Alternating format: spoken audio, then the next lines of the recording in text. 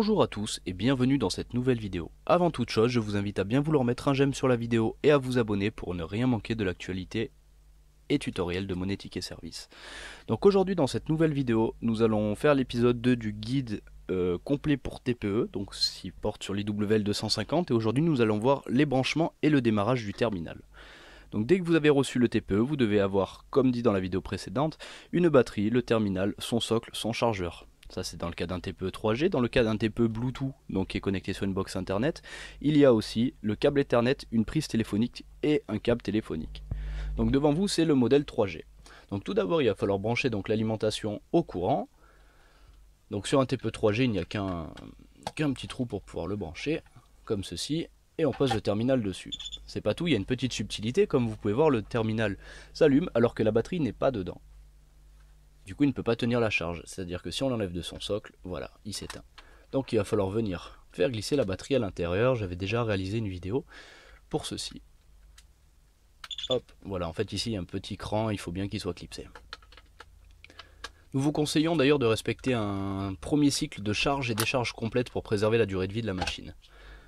Voilà, donc là le TPE charge, il a de la batterie, on peut déjà l'enlever de son socle. Ça c'est dans le cas d'un TPE 3G.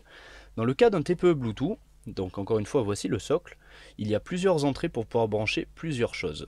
Donc dans l'ordre, euh, sur la gauche, vous avez le câble Ethernet qu'il va falloir venir brancher pour pouvoir en fait vous connecter à votre box internet, qui nécessite une passerelle mais qui est quand même moins onéreuse qu'une ligne France Télécom, donc en RTC. Je vais vous montrer le branchement.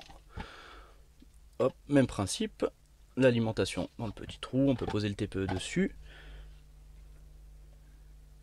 Voilà, donc là le TPE charge. Donc il faudra juste rajouter votre euh, câble Ethernet ici.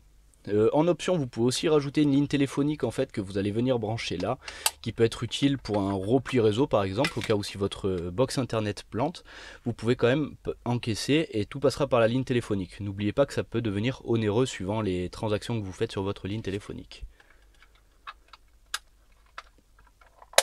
Voilà, je pense qu'on a fait un petit peu le tour des branchements et du démarrage. Encore une fois, je vais vous montrer la manipulation, comment éteindre et redémarrer le terminal. Donc il faut juste laisser appuyer la touche jaune et le point. Le TPE va redémarrer. Hors du socle, si vous laissez appuyer la touche jaune et le point, le TPE s'éteint.